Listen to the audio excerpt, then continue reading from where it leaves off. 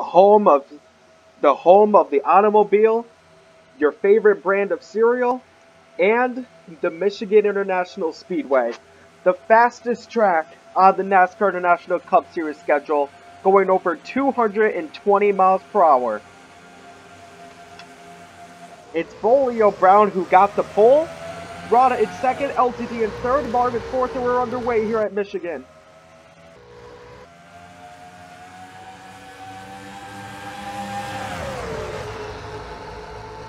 There is a lot of multi-grooves you can use onto this track.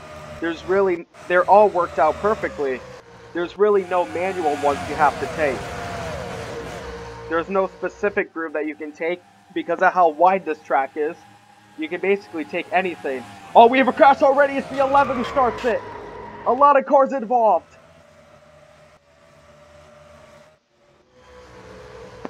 Looks like Opsal, Roten, the 11 who started it, Edgewater as well. Down to 1-4 speed. We can see what happened here. Yeah, it starts with the 10 and the 11 colliding onto the 4. And there's nothing Opsal can do about that. Yankovic and Sainz do a good job at dodging, but the rest of them all get involved. Turn 3 is the most common place to crash in almost any NASCAR track. And as you can see in the helicopter cam, those are all the cars that got involved into that wreck here in lap 1. Squall who just managed to dodge it.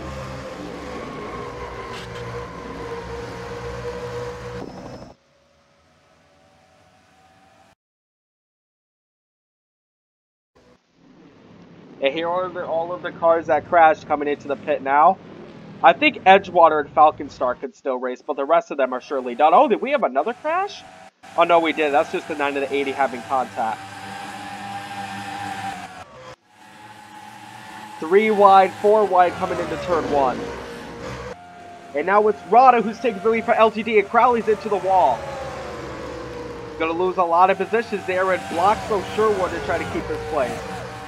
I don't know if that's I don't know if that's a nice move to do to your team. Look at the 23 of Bolio Brown. He fell down a bunch of positions. He's running mid-pack now. From lap one, you can see that Bolio Brown just loses a bunch of positions and cannot find the right groove. Car after car just passing him. That is not good at all. Looks like the 53 also made it. Kronberg also hit into the wall. Zach Johnson's also running in the back of the pack. A lot of cars who you wouldn't expect to be running in the back of the pack are doing so. We are now onto lap 5, one fourth of the way over. And it is the 3 of Steve Rada who has the lead. And now Rod is into the wall as well as Noonan, but that doesn't seem to be as effective as it was for the other drivers. Rada, LGD, Martin, Noonan, and Lombardi are your top five.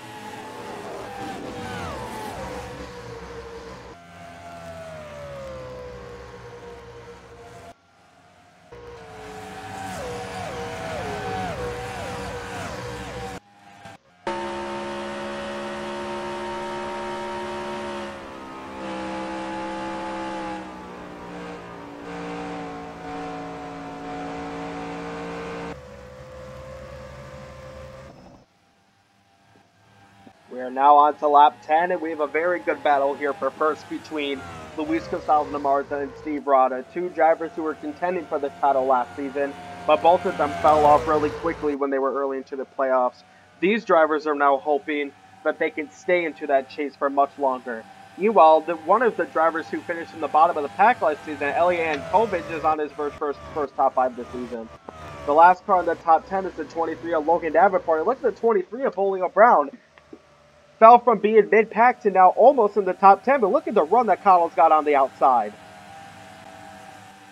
Connell and Sainz, both of the Skunkworks teammates, are making a pretty good run onto the outside. Meanwhile, the 44 Pasquale is one of the backmarker drivers. A lot of drivers in the back that you wouldn't expect it to be. The 44 is running in 25th and 96th and 22nd the 57 of Harold in 19. A bunch of it said this has basically been a silly season type of race so far. But here is the 8. Well, the 8 is still a regular title contending driver, as well as the 70 and the 14 of Dematale, who won your Daytona race earlier. How about, how about the 07 of Said and the 23 of Brown? They're both rookies who are lead are leading the top 10. Oh, the 70 the 40. Oh, the 70 the 14 got really close there. But they both managed to save it. Great job from the both of them, honestly. And now Lombardi's looking to make the move on Martin, and Martin makes a huge move towards the 14, and Huckleberry does as well. Huckleberry is a lap down, but he did pit early. He might be just waiting it out. And now here's the 70, the 07. Save number, just switched around. Now it's lap 13, and Martin is able to complete the pass on Said. And now the battle for the lead is between LGD and 74, and Yankovic is into the wall. When you lose that tire grip, you can get into the wall very easily. And now it's the 8 versus the 88.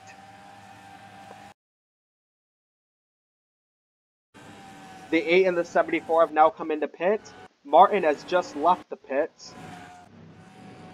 The vast majority of the drivers are coming in right now. I imagine most of these drivers are only going to take two tires because it's really only the right sides that are needed. Here on our spectator cam, you can see it's going to be the 8 of LGD who comes in first. With the 3 in second, the 23 who got pole is now in. Are they all only taking two? Yep, the 8 is only taking two. He's going to be the first out of pit road. Followed by the 3 of Rada.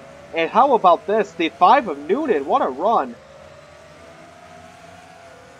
A great job from Noonan. And now Martin is working his way around. You see Martin and Huckleberry are both working their way around. Let's see what positions they get. LGD is going to be first off of pit road, and he is going to keep his first spot. Just five laps to go here at Michigan.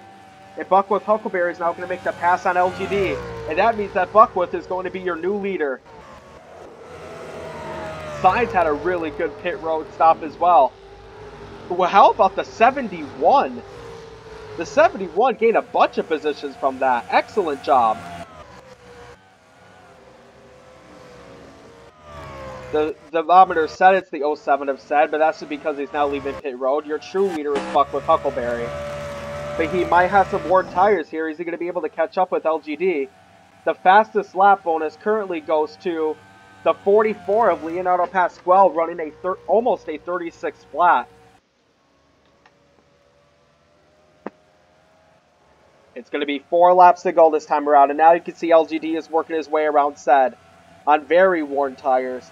And here comes Martin and Brown and the Skunkworks teammates of Connell and Sainz. It seems to be that outside groove that seems to work the best, but it's also very likely to hit the wall, so it's risky if you take that lane.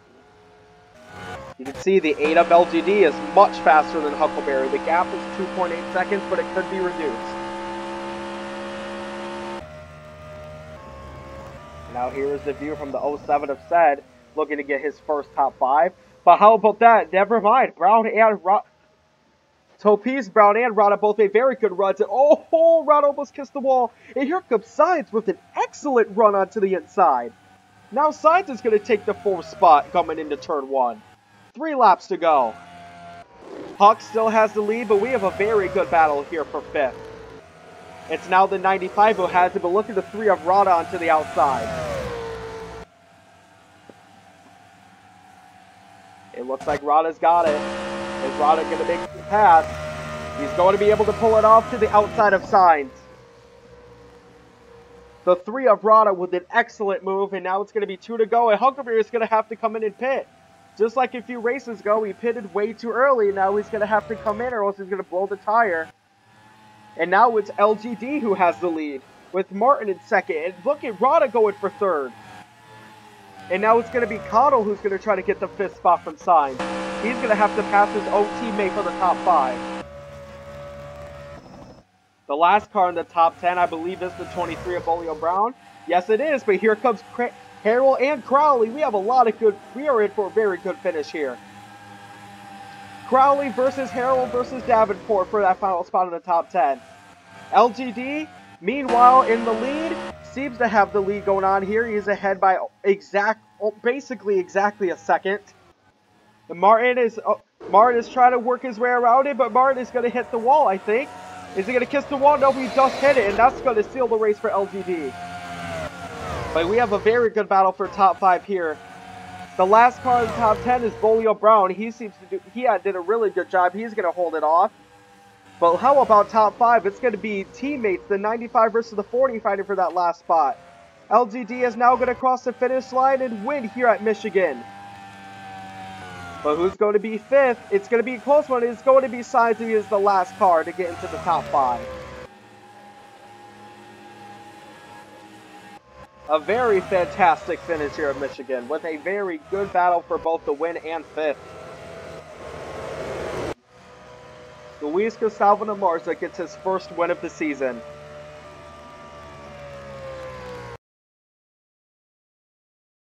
Luis Gustavo Namarza gets his first win of the season. Came in second last year, came in eighth the year, came, came in second in season three, came in seventh in season four, and now he's off to a pretty good start here.